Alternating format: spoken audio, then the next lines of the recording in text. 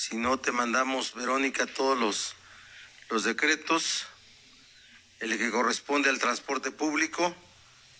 El decreto es para que no vaya ocupado más del 50%.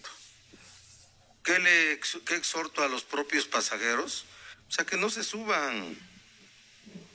Si ya va un- una corrida con más del 50%, esperen a la que sigue.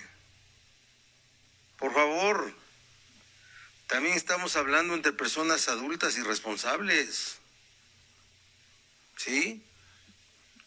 No puede ser de otra forma.